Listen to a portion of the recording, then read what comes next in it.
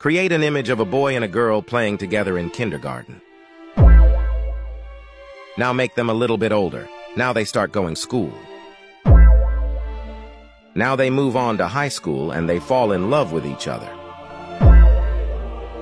They now graduated and go to prom with each other.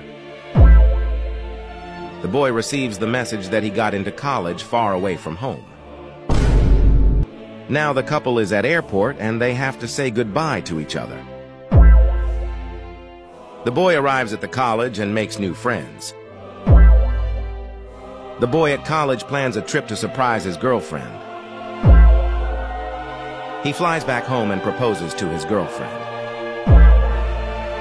Finally, they marry each other and are very happy.